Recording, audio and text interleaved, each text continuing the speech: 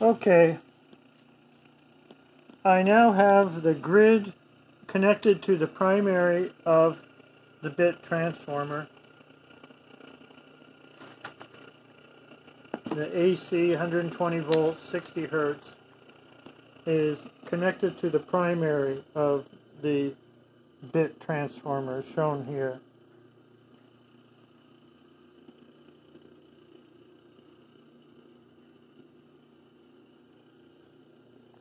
And the secondaries are in series. The secondaries output goes right into the rotoverter motor here. L1 and L2 connect to L1 and L2 up here. L, the 5UF run cap goes across L2 and L3. It's your basic rotoverter three-phase AC motor uh, way to hook single phase to it. And you have that run cap. So I have a 5UF run cap across L2 and L3 okay so that's what I'm doing now. The experiment is running a rotoverter motor from a BiTT transformer.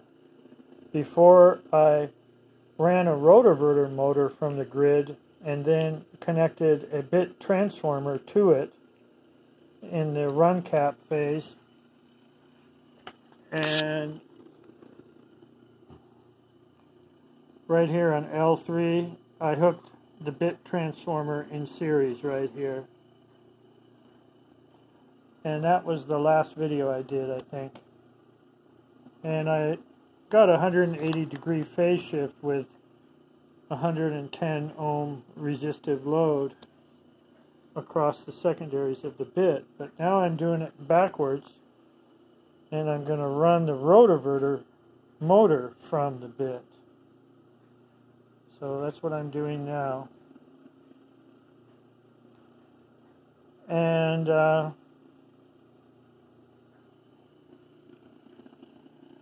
I want to say where I'm measuring the amps from. I'm measuring it on the hot lead. Okay, this is your typical North American 120 volt AC prong. This one, the straight one, this is the hot. This is the neutral, they call it. Hot, neutral. And I was testing this RV motor here and when I looked at amps input to it with a meter, it said 450 milliamps. Quite a bit. This one has kind of gummy bearings, and it's bigger. This one only said 30 milliamps, the one inside this blue bin. And, uh, but anyways, that's what it said. With a meter, 450 milliamps.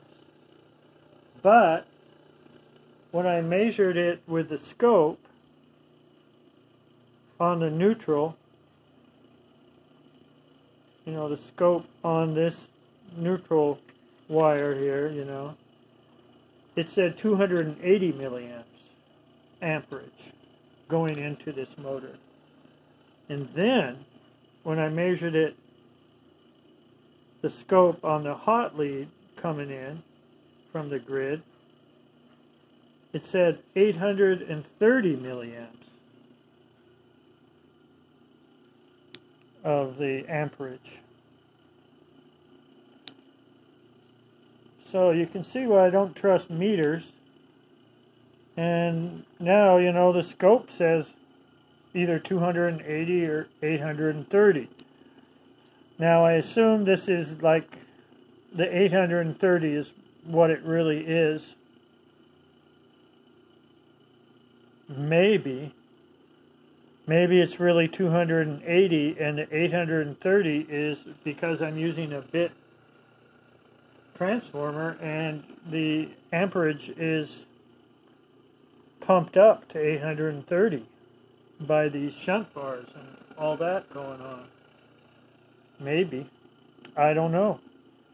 So, what I'm doing now is I'm I'm I'm measuring right now from the hot lead, the one that will show the most amperage on a scope. And what's weird is the meter said 450 milliamps on this one, and then I put the meter on this one, and it said a 450 milliamps. The meter did. So, can't trust a meter really. So, now the scope shows the phase shift. So, let's look at the scope.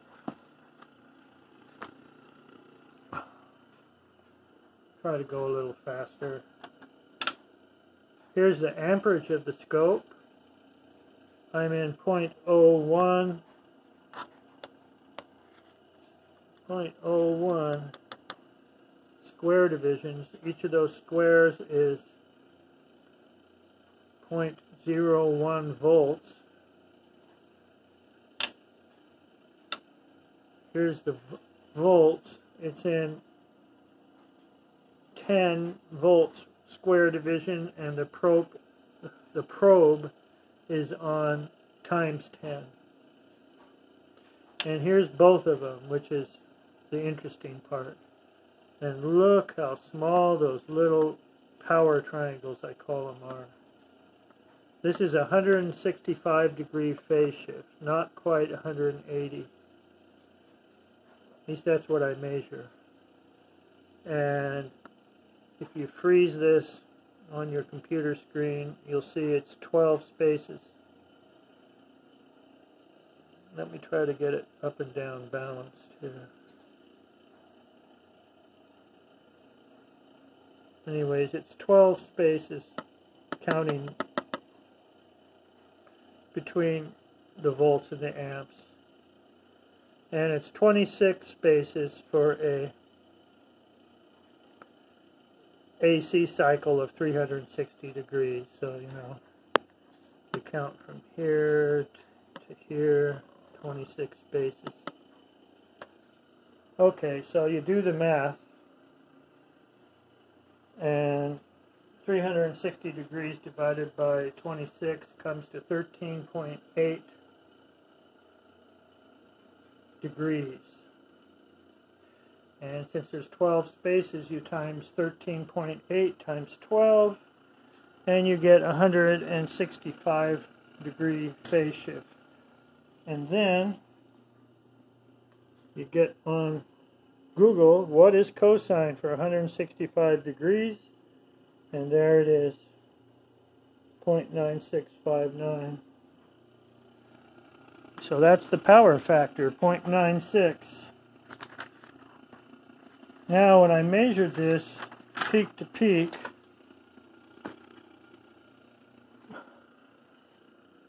when I measured this let's say the uh, Here's the amperage. It's like 17 and a half. I'll bring that up there. It's about 17 and a half spaces. Each of these is 5, 5, 10, 15, and then about two and a half. So I have it at 17.5 peak to peak spaces, okay? We're in the 0.01 so that means each of those each of those is worth 0.002 volts. So here's the math. 0.01 volts, square divisions on the scope, 0.01 divided by 5 is 0.002. That's what I was just saying. 17 and a half spaces peak to peak times 0.02 is 0.035 divided by 2 because this is peak to peak you only want what's above the zero line to give you AC and it's 0.0175 0175 0.017 times times 0.707 gives you RMS. And that comes to 0.0123 volts RMS. And then you divide that by the current shunt, which is a 0.1 resistor, and you have the amperage, 0.123 amps. Just happens to be 123 volts going in times a 0.123 amps gives you 15.1 VA, volts amps, not watts. To get the watts, you times it by the power factor, and the power factor is a negative number because it's over 90 degrees. So 15.1 times negative 0.96 is negative 0.14, 14.5 watts. That means it's returning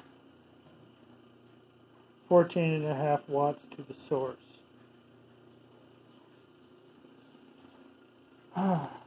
So that's what it is, running this rotoverter motor. Now, because we're in the negative, negative land, over 90 degrees, it seems like the more amps you have circulating, the higher the VA number, the more watts is being returned to the source.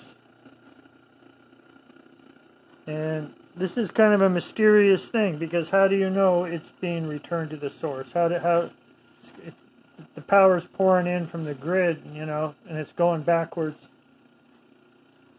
And so this is what uh, we need to figure out is how to take advantage of that. To me, it's like a uh, a generator being spun and there's no Lenz law happening because there's no power being made. So,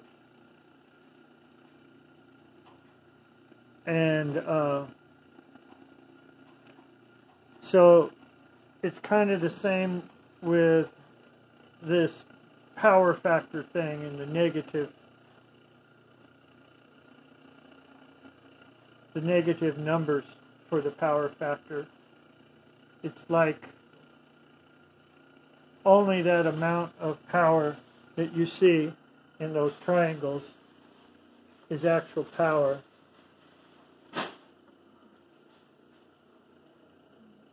And they're very small. So if this was a generator spinning, you would only get Lenz law during these overlap periods.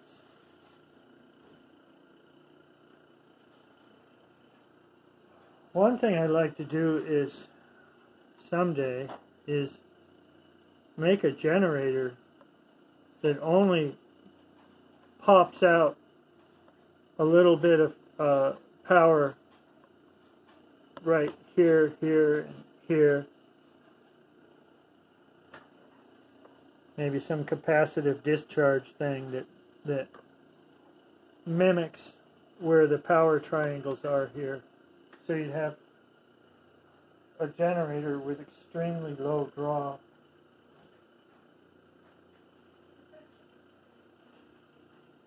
Also, also, uh,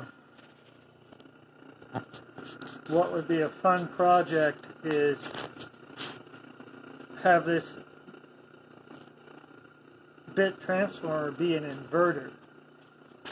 Pump alternating DC low voltage, say 12 volts or 24 volts, into the primary. You can even have the primary split into a bifilar. Have it low impedance. And uh, pump power in one way, pump power in the other way, and then have these windings so it kicks up voltage to like 120 volts or 230 volts. So you have a, BiTT inverter. Wouldn't that be cool? I bet you it'd be very, uh, very efficient. You can go the other way too.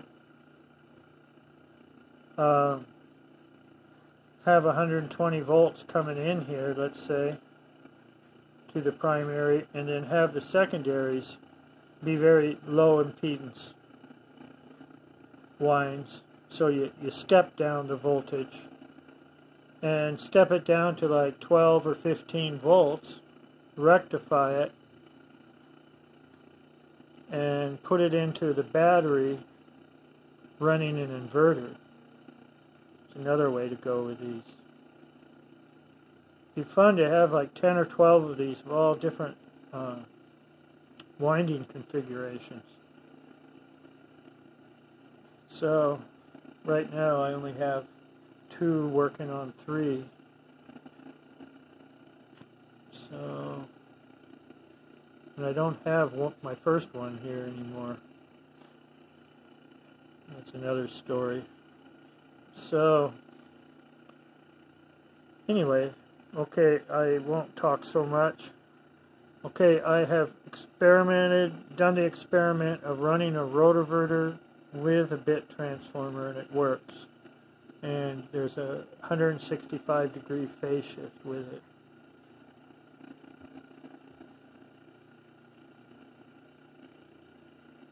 Okay, so I guess that's the video for the day. Okay, thanks for watching.